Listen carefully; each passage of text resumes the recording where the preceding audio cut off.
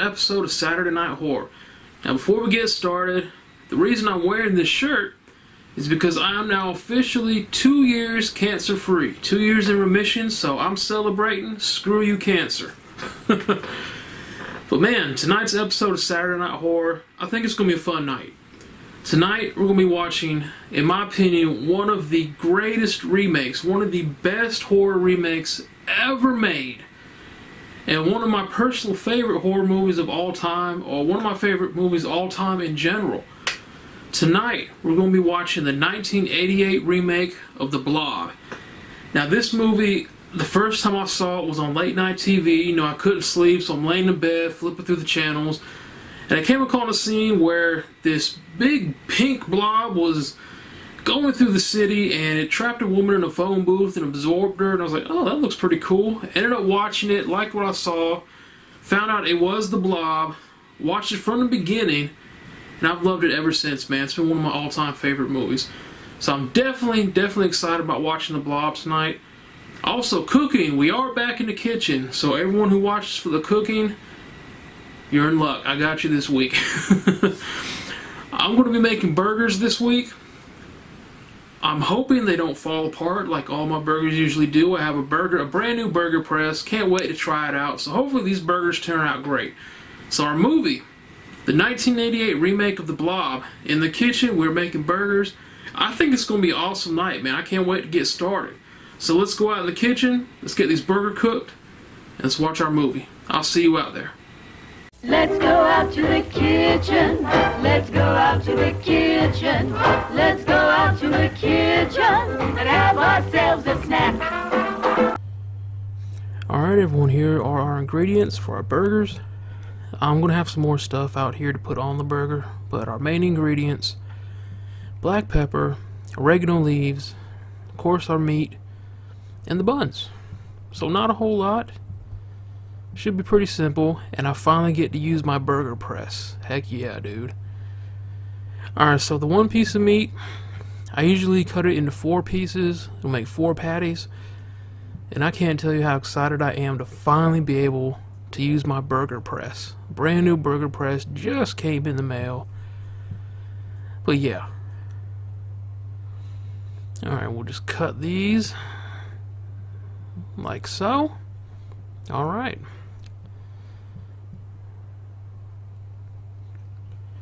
Alright, so we got our first uh, piece of meat here. And here we go, burger press. Let's see what happens. And we'll just press this down like so. Oh yeah. Oh, oh, we got juice. Oh, well, I was not expecting that. But yeah, look at that, man. Look at that. Alright. Got our second piece of meat. I put paper towels down. Maybe it won't be as messy this time. Alright, number there, we still got juice. Okay, so apparently we're going to have juice when we use this thing, but now I know. Oh, yeah. Oh, yeah. Alright, so we got all four patties. They have not fallen apart yet, which is already an improvement over my last burger adventure. And I've got a little bit of vegetable oil in this pan here. And the reason I put the oil in is because I want to keep these uh, patties from sticking to the pan. So hopefully the oil does the trick. Alright, the oil has been heating up. You can see it's sizzling a little. I don't know if it's picking up on camera, but it's sizzling a little bit. And we're going to put these patties in here. Hopefully they don't fall apart because you know me. Every single time I've made burgers on Saturday Night Horror, the patties have fallen apart. But so far, so good, man. I really, really like that burger press. I like how, how these burgers patties turned out on that burger press. Something so simple, yet so awesome. Alright, one more to go. And if you're wondering why I'm not doing this on a grill, I don't have a grill, so this is how I have to make my burgers. Uh, we work with what we have, folks. And we have fun doing it. Alright, so they've been cooking a little while. Uh, not ready to flip over yet. But, yeah, I, I really like how they turned out using that burger press. And so I'm just going to add some black pepper here on these ta. Oh yeah. Now what I should have done, I should have added these spices in with the meat before I made the patties. I should have just mixed, put them in the meat and mixed it all into one one big uh, mixture of meat and sp spices, and then made patties. But you know, whatever. This will work. so I'm only going to put oregano on the top two because those are the two that I'm going to have. And I want oregano on mine. So yeah, we'll let these cook uh, a little bit longer and they'll be ready to flip shortly. Alright, so they're still cooking now. Not quite, I'm not ready to flip them yet. Let me just mix that oil around.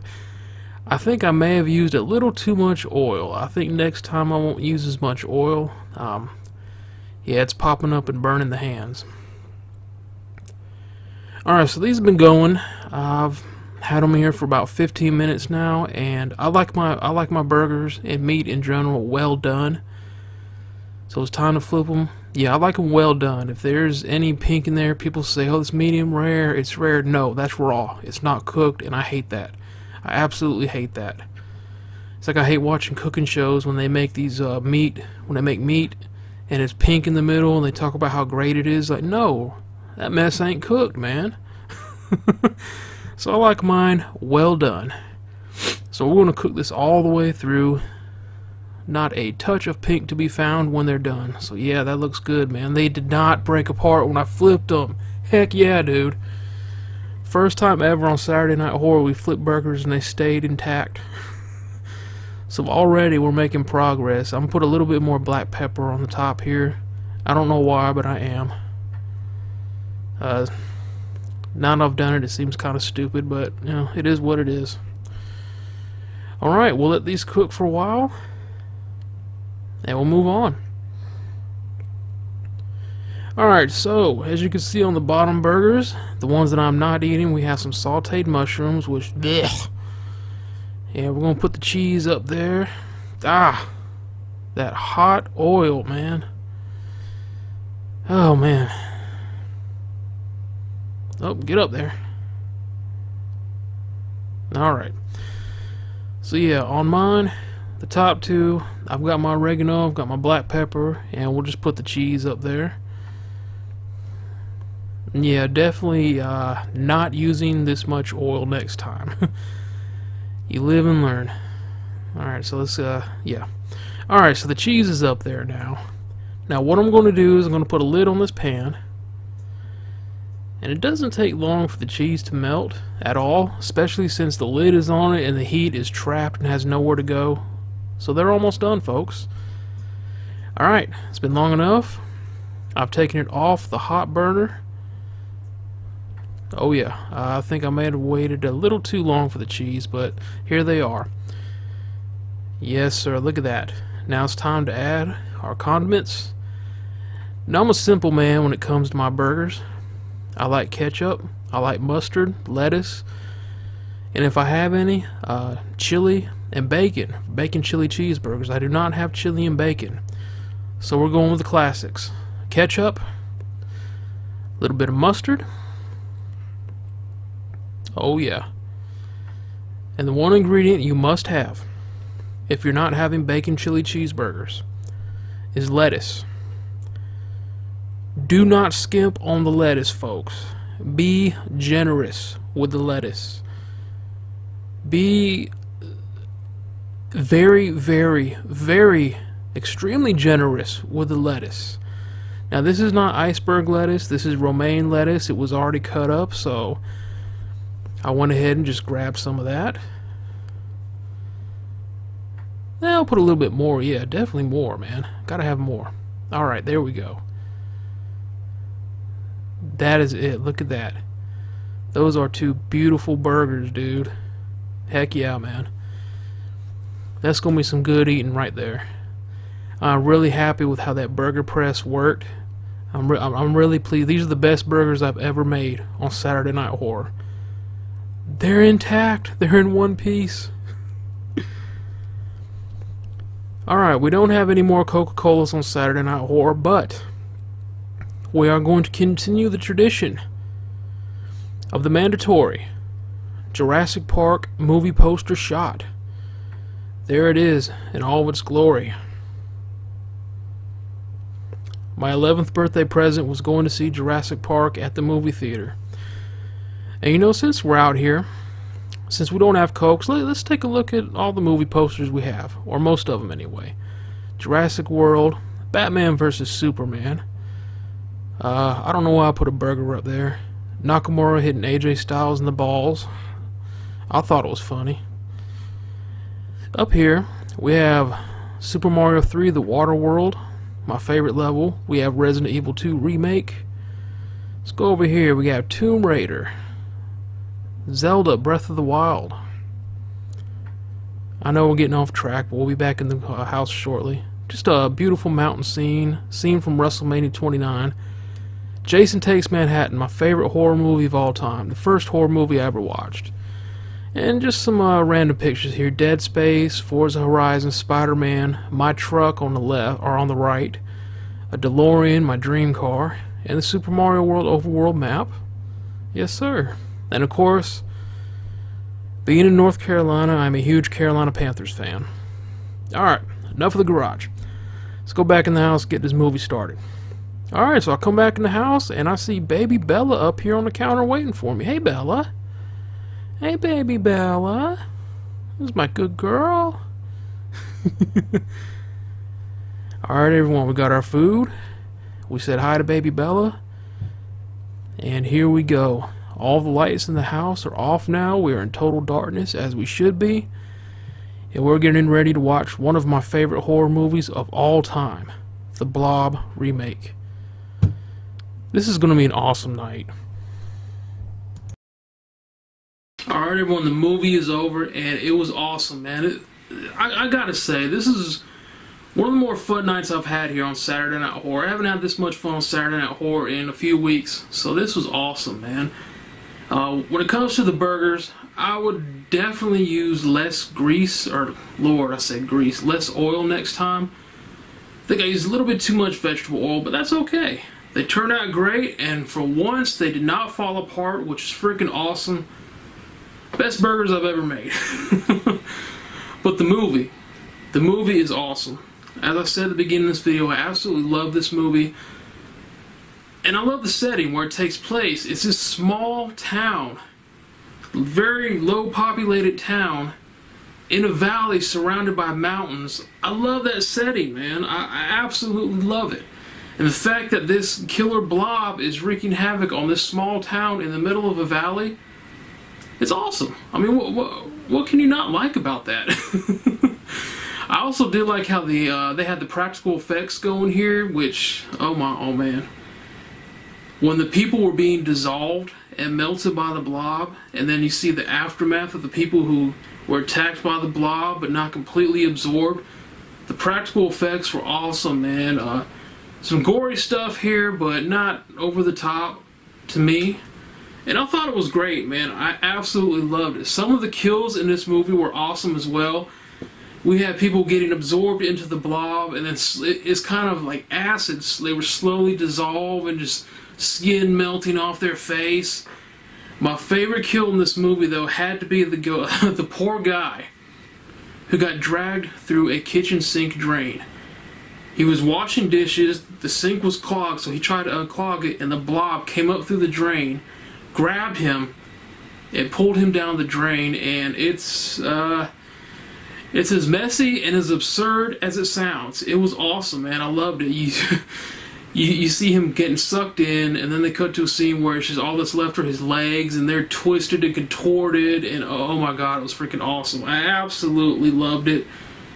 The cast in this movie was actually not bad. Now, usually when I watch a horror movie, I really don't care about the cast. I absolutely hate them, and I can't wait for them to meet their fates in as gruesome a way as possible. That wasn't like that in this movie. I actually liked some of the characters in this movie. Our main character, Billy, uh, we had the girls played by Shawnee Smith. Uh, I liked them. I, I was I was rooting for them. I was hoping they survived.